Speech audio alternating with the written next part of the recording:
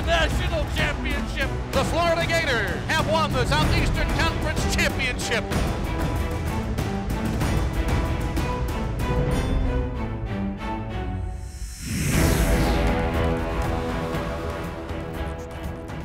Gator Zone is presented by Wells Fargo. Together we'll go far. Hey everybody, welcome to another episode of Gator Zone alongside Megan Parler. Jeff Cardozo with you. We're hanging out in the F Club where there's a lot of great memories, a lot of awesome moments over the years, and that's what the spring is all about. A lot of uh, awesome moments and really a busy time for us. We're nonstop, running around left and right, but hey, it's fun. It's always great to be covering the Gators. Yeah, and it seems like the spring is all the sports. you every day someone is playing. There's a double header. There's just so much going sure. on, and the tennis teams now are both in full swing of their SEC play. And Andy Andrade, one of the sophomores on the team, ranked top 40 in doubles in the fall, and he's ready for a great spring season. Yeah, IMG Academy kid from Bradenton, and uh, the Gators are lucky to have kept him in state. Sophomore Andy Andrade has come a long way since his freshman season. Andrade moved from Ecuador to train at IMG Academy and was ranked as high as 12 in his class for 2016 before committing to Florida. I was deciding between some schools in Florida, but there was actually the, an ex-former player here, Diego Hidalgo. He's also from Ecuador, and he got me to look into Coach Shelton and the university. And I took a visit here, and I was like, wow, this might be the fit for me. At the beginning, I wasn't really sure what I was going to expect, you know, and then I was I was just ready for the whole season to happen, and then it was wonderful, to be honest. It's good to represent something, you know, other than just yourself. I like it a lot. I'm representing Gators, uh, Shelton, Tanner Stump, Coach Perlman, other coaches, and my team as well. Just not playing for your own self, like playing for something bigger than yourself. Coach Shelton has brought my confidence up a lot since freshman year, and yeah, I'm very grateful for that. I think my mental game is just playing better. I feel stronger than before than I've ever felt, to be honest, and it's that's going to play a big role in my tennis. He ended the year winning six of his seven final matches and had a 2-2 record against a nationally ranked opponent. Playing tennis in the U.S. has really changed the game for Andrade. Seeing how seriously players take their game has significantly increased his determination. Back home, I didn't have that many opportunities, so like, I have to like know what to take care of, you know, and what's important. For my priorities, I have to put that first growing up in Ecuador just taught me a lot of things. Because of my dad, he's a tennis coach. He put a racket in my hand when I was like four years old, and ever since that, I've just fell in love with it. And I just took it serious day by day, and like it's a different world over there in Ecuador.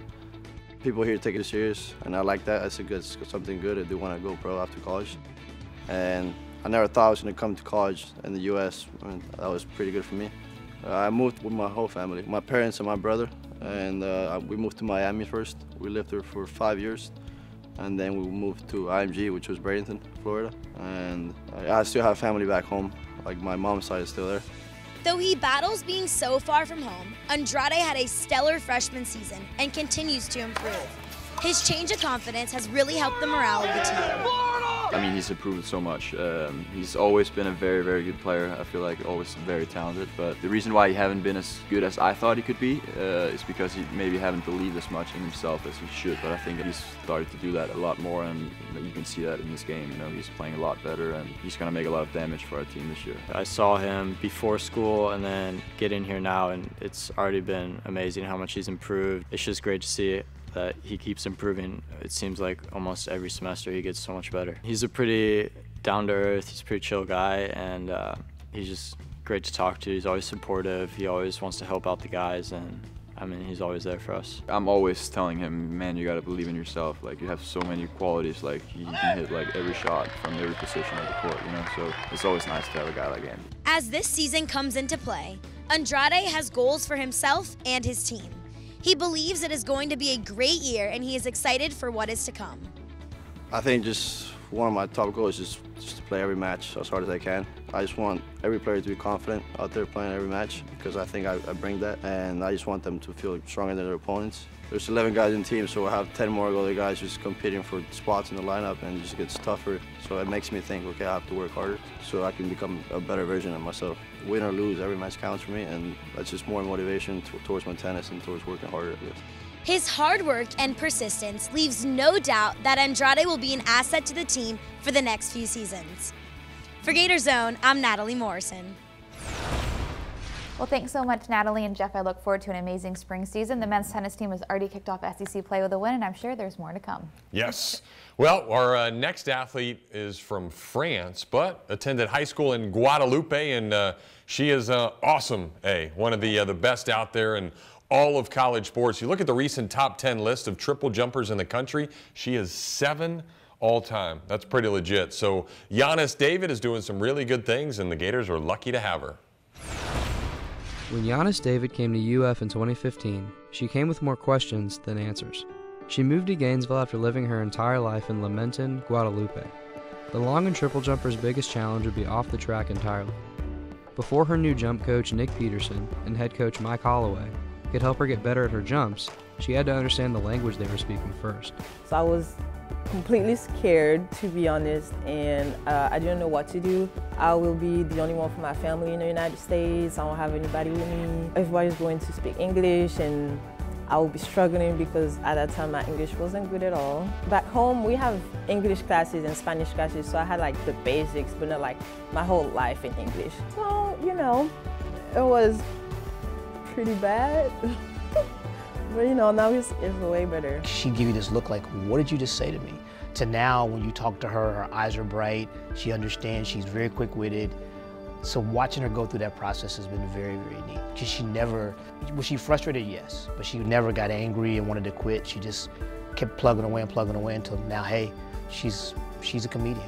In that process, one of David's first steps was befriending fellow jumper Darielle McQueen. McQueen, now graduated and on the track and field staff as a compliance intern, quickly helped Yanis get acclimated to her new life. So when I talked to Coach Peterson when Yanis was on her way to Florida, he was giving me a little bit of information about her. She's from Guadeloupe and she's really good. He's been keeping an eye out on her for a few years. So when she finally came, he was like, hey, just help her out. You know, she's a fellow jumper. So I did that. Without her, I think I would have probably been lost, especially my first year. She was always there when I needed her. I knew what she was trying to say, and she knew that I could reiterate that to other people around, especially when she didn't quite have the English language down all the way. At first, McQueen had to help Yanis with even the most trivial of things. She served as the translator between Yanis and their servers at restaurants to help her order the food she wanted.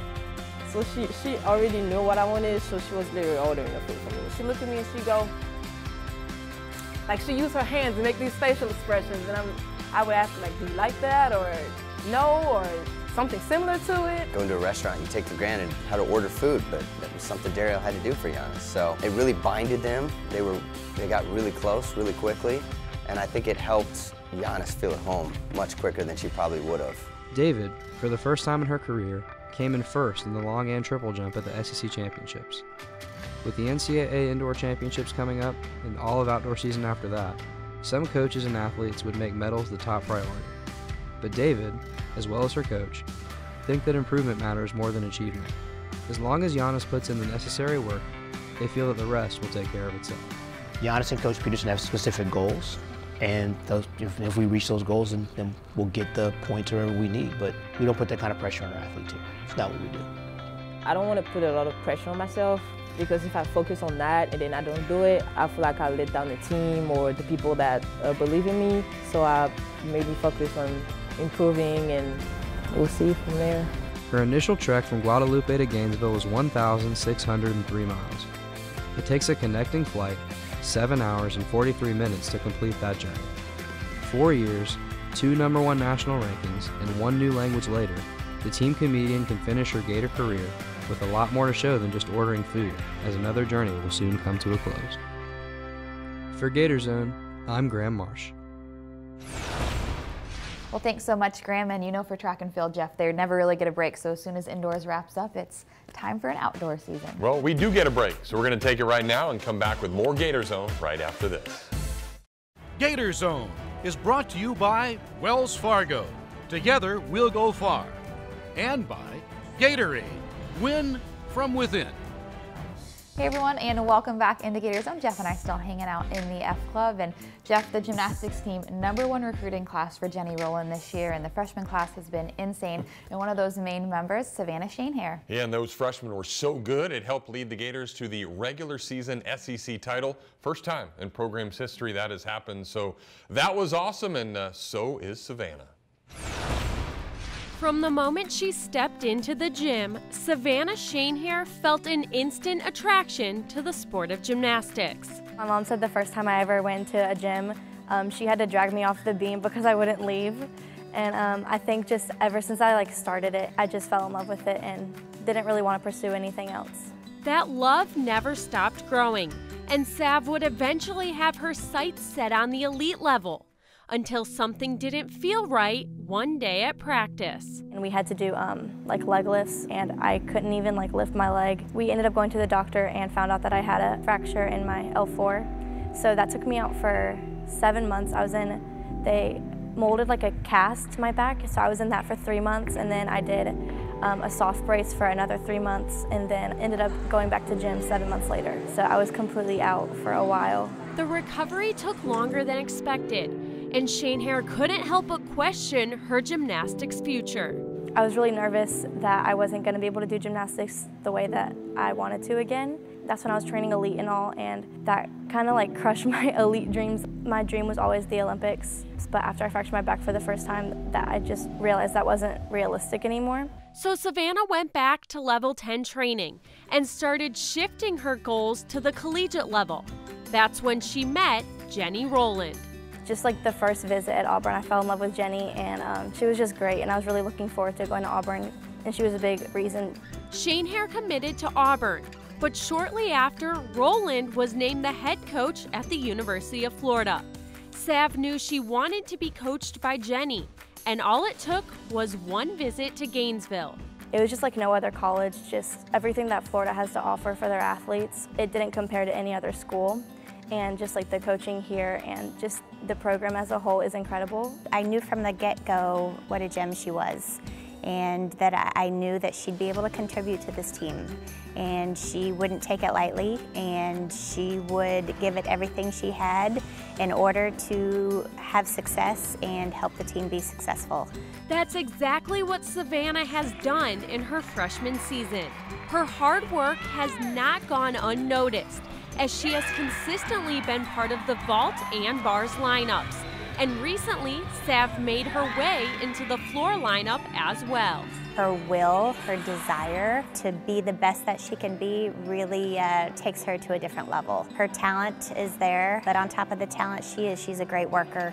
She works hard for what she wants, and uh, she's going to go after it 100% in order to uh, get it taken care of. I try my best to focus more on like quality over quantity, and that's something that the coaches preach to us all the time is, you know, get your numbers done so that you can get out of here and you don't have to do more than you need to for your bodies. So that's something that I really try to focus on. Sav has been through a lot in her gymnastics career, but she has now found a sense of belonging as a Florida Gator. It's literally like no other feeling. I honestly couldn't imagine myself anywhere else. I really feel like I'm where I'm supposed to be and I feel like the team and the coaches really have welcomed me and made it feel like home. A broken back may have altered Savannah Schoenherr's plans, but she didn't let it break her love for the sport of gymnastics. For Gator Zone, I'm Shelby Granath. All right, Shelby, thank you for that. And we kept Shelby busy because uh, she also is in charge of doing all the swimming stuff. And the Gators have a really legit swimmer. The number one recruit in the state of Florida came to Florida. Why not? Of course. And he is uh, awesome. Robert Fink has done some really good things. We were just talking about gymnastics winning the SEC championship, where the men's swimming and diving team brought home their seventh straight SEC championship. And Robert won two individual SEC championships as well. So here's more about Robert. Fink is a name that has appeared on the Florida swimming roster before. Two years ago, Clearwater native Autumn Fink wrapped up her time in orange and blue. And now, her younger brother Robert is coming to the end of his freshman season.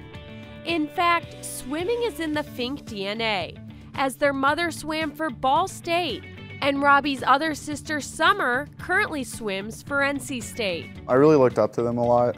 You know, I just looked up to them all the time. My sister is really fast. Yeah, I learned a lot of things from them. The Florida 4A state champion is also a member of the USA Swimming national team. Fink qualified for his first World Championships after he took home silver in the 1500 meter freestyle at the 2017 U.S. Nationals. He was then the runner up in the same event at the 2018 U.S. National Championships. It's a lot of fun getting to wear the flag and everything on your cap. It's really grateful for what they've been able to do. Once you get to that level and you train with the, basically the best kids in the U.S., um, and to get to, to travel with the, with the national team, you're training with the best, and usually, uh, as they say, the cream rises to the top, and usually uh, kids like you know Robert enjoy the challenge and they, um, they get better. Fink has certainly been a force to be reckoned with this spring. At his very first Southeastern Conference Championships, Fink finished in first place in the 400 IM. Then on the final day of competition, Robbie once again found himself on top of the podium as SEC champion after a historic swim in the 1650 free. With his personal best time of 14 minutes 23.01 seconds, he set the fastest time in UF history, the fourth fastest time in NCAA history, a Southeastern Conference championship record, and broke the Georgia pool record. I like to see him race because uh, he's such a special athlete, especially swimming the longer events and the way he swims them. It's just a pride of coaching him, pride of having him on the team and having him perform the way he does. It's, it's definitely awesome to have. You know, he's a very talented kid and I, I, just can't wait to see how he grows. Uh, he's only a freshman, how he grows throughout the years.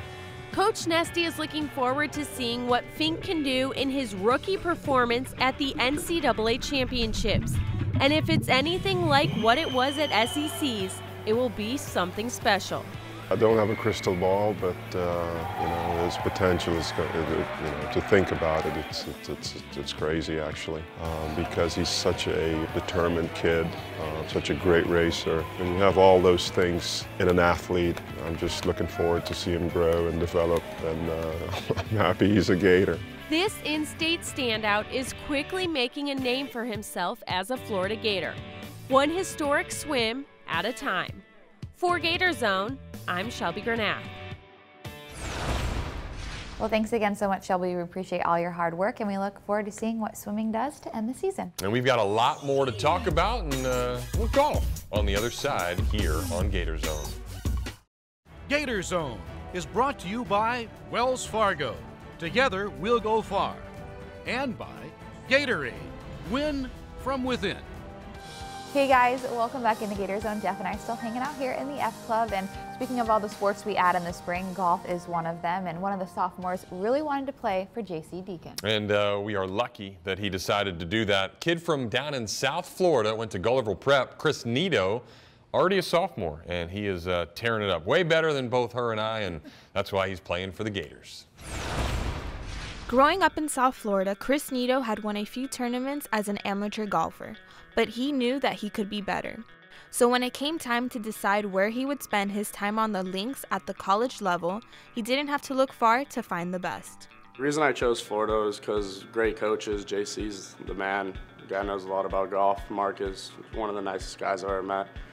And um, chose Florida just because great competition, you're around some of the best players, and weather's good, and it's not too far from home.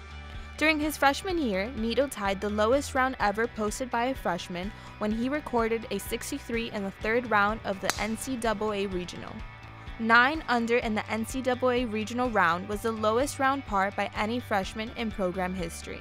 That's right, in program history. I've been lucky enough to get to know him uh, really well on a deeper level, and uh, he's a competitor every every single thing he does, he wants to be the best and wants to win. And a team needs that, and he brings that element to our team.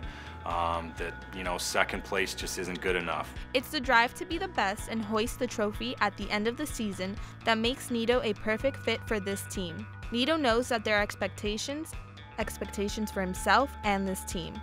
It's those expectations that brought him to Florida. Florida has really high expectations for every single team.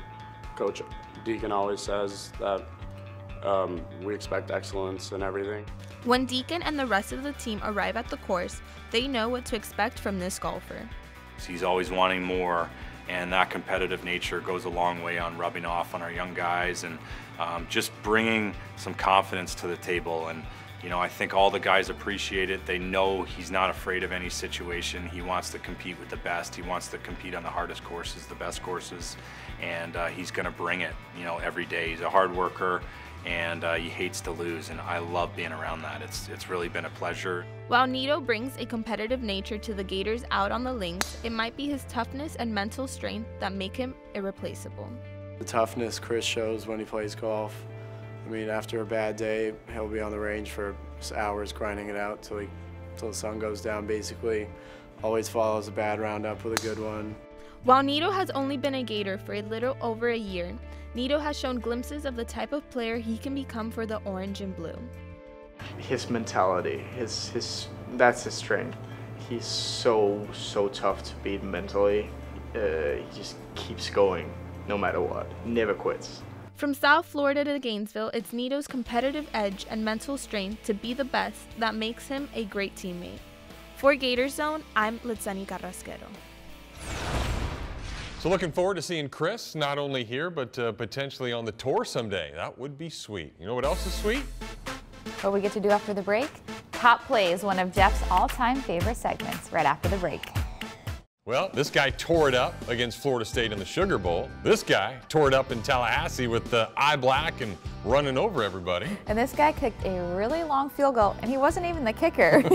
they need tons of top plays while they're here at the University of Florida, but we've got more for you. That we do, so let's uh, check out what the student athletes are doing really good around here.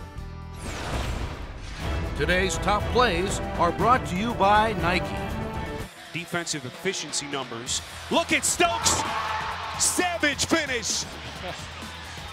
Letting everybody in the building know it too after it. 47 strikeouts, 3-1.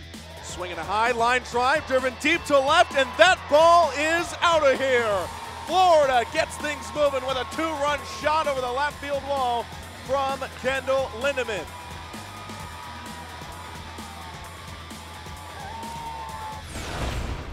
So it was awesome being here in the F Club, looking at all the great pictures, all the great memories, and way more memories soon to be made here in the spring. But that's going to do it for this episode of Gator Zone. We can always follow your Gators on Facebook, Twitter, Instagram, and Snapchat all season long. So make sure you do it make sure you come out to all the events because the spring is always really busy. So we thank all of you for watching. We thank Gareth Gutierrez for all the great camera work. She's my partner. Megan Parler. I'm Jeff Cardozo. We'll see you guys next time.